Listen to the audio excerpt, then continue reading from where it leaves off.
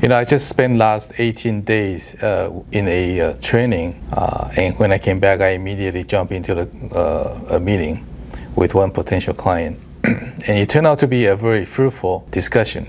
I ended up uh, hired to do some reorganization of uh, their business entities, set up a separate entity for one of his subsidiary.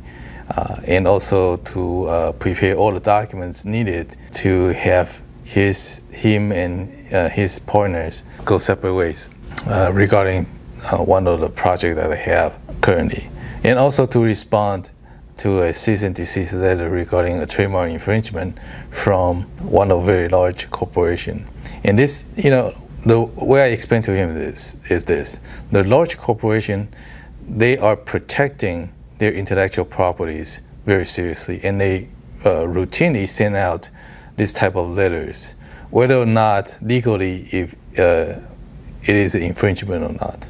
Okay, and so should the ordinary folks.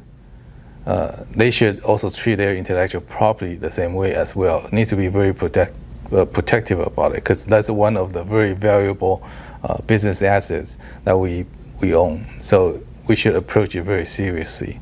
So do you have any uh, issues that uh, we can take care of? Give us a ring. Love to talk to you.